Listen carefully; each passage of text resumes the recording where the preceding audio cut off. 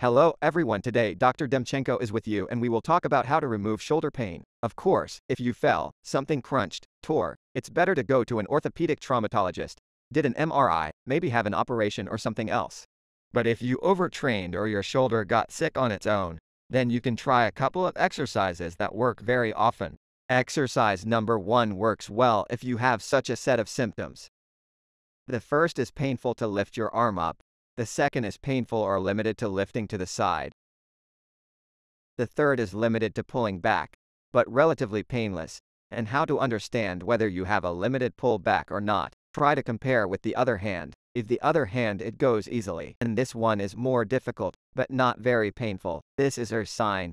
And the third is that it is easier for you to break this arm into resistance than this one. With a very high dose of probability, the first exercise will help you. For the first exercise, you will need a wardrobe or chest of drawers. To do this, stand with your back to it. Turn your hand so that the palm looks at the ceiling and put it on the level. Let's say, of a shelf or chest of drawers. Where you can put your hand without pain and without turning to the hand. Then you need to turn exactly with your back to the closet.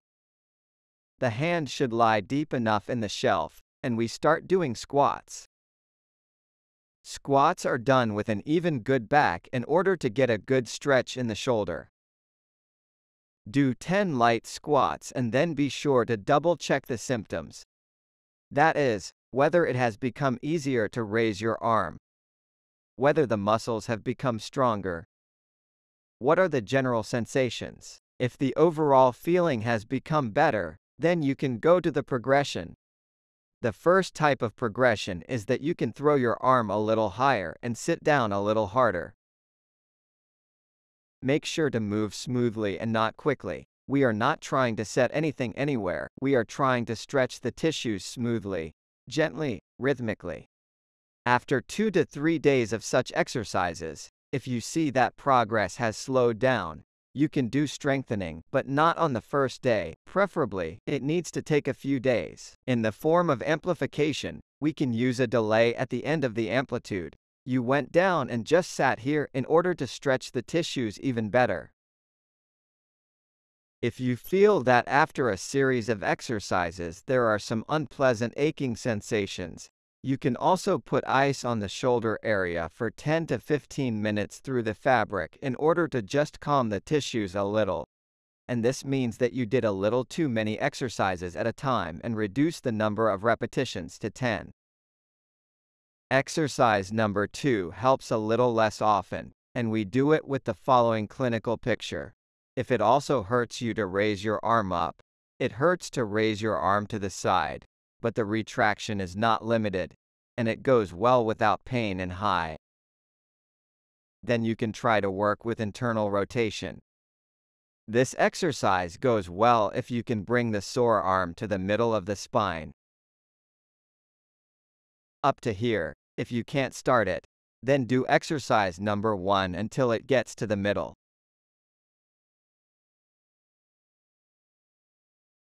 Then you need to take some kind of stick. It should be a better stick than some kind of belt. Grab the stick from above with your healthy hand, and the stick from below with your sick hand. Then we make a small passive pull up of the arm up the center line. It may hurt a little, but we can consider it a good sign if after the 10, 12, 15 repetitions with each repetition it will be a little easier and a little higher to go.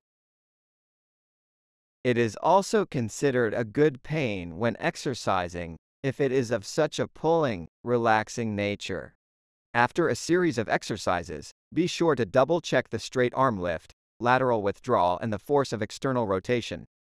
If they all improve, then we continue to do exercise number 2 in the same mode as the first. Exercise number 3. We use exercise number 3 if after exercise number 1 and number 2 you have the characteristics of lifting through the side and external rotation have become worse. If they have become worse, then we can use the following exercise. You need to put your hand on some kind of high support. Or if it's a lower table, you have to sit down. Put your hand down and do these repetitive movements with the second hand, external rotation.